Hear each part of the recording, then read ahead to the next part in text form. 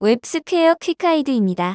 check combo box의 set enable column 함수에 대해 알아보겠습니다. 이 함수를 사용하면 특정 선택 항목들을 동적으로 비활성화할 수 있습니다.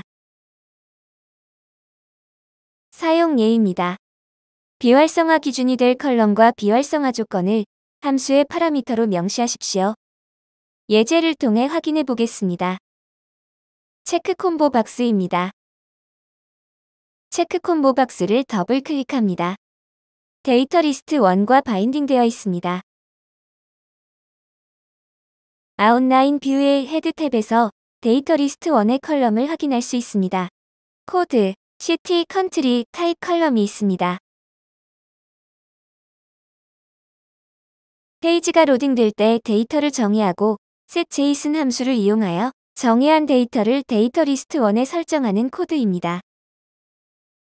브라우저에서의 모습입니다. check combo box의 선택 항목이 목록으로 표시되고 모든 항목을 선택할 수 있습니다. 좌측의 trigger 버튼에는 onclick 이벤트가 걸려 있습니다.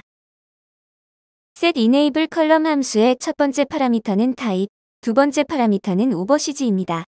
즉, trigger 버튼을 클릭하면 type column의 값이 overseas인 항목만 비활성화됩니다.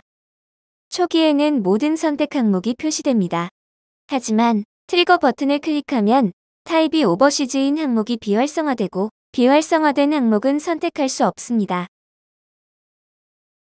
WebSquare quick guide를 시청해주셔서 감사합니다.